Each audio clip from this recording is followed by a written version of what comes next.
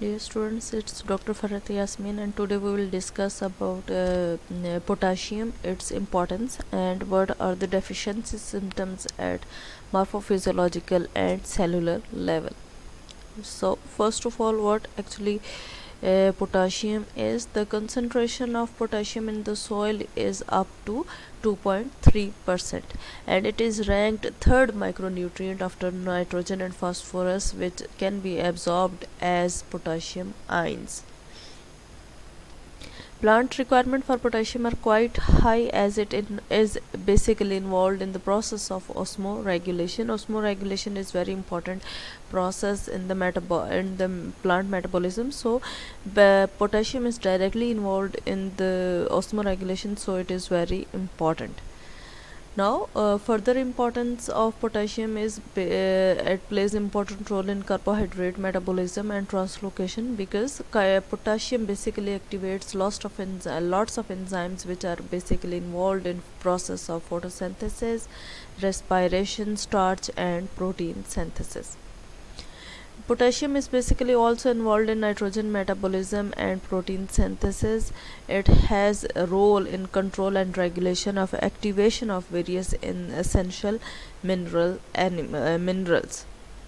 Sodium potassium ratio basically importance uh, in maintenance of normal plant growth and it also take part in the neutralization of physiologically important organic anions for example malate etc uh, another importance of potassium is that it activates more uh, around 50 different enzymes uh, which are involved in various processes which I have mentioned earlier that these enzymes are basically involved in the process of photosynthesis, respiration and protein. Growth of meristematic tissue is promoted in the presence of potassium.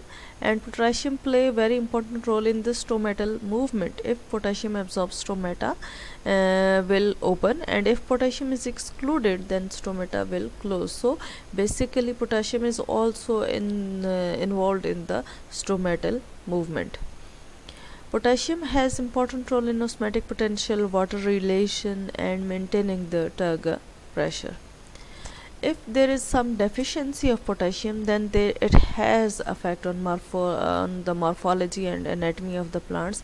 First of all potassium is mobile element uh, so its uh, deficiency symptoms always appear initially at the older in the older leaves because it's mobile element if there is any deficiency then the stored uh, potassium will move towards the younger leaves. So its deficiency symptoms first of all appear in the older leaves Potassium deficiency also causes the shortening of internodes.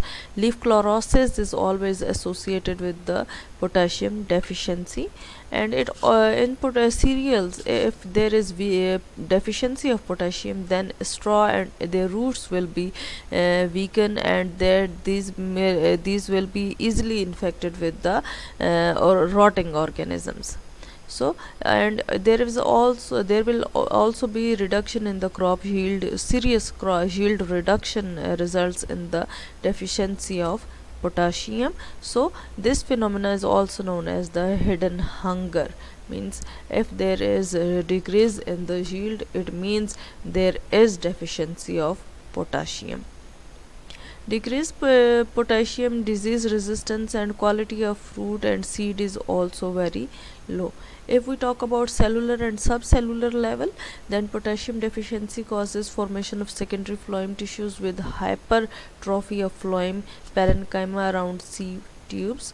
Chloroplast of phaseolus lost grana structure and photosynthetic rate was decreased in a study according to a study and then role of potassium in maintaining the adequate water relation in plants is well established rate of photosynthesis is decreased and that of respiration is increased.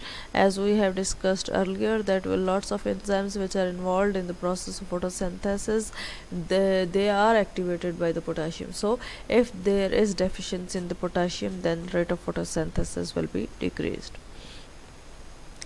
at uh, metabolic uh, level low potassium disturbs the protein synthesis starch and reducing sugars tend to accumulate during early stages of potassium deficiency. And potassium deficiency induces iron deficiency as well. Thank you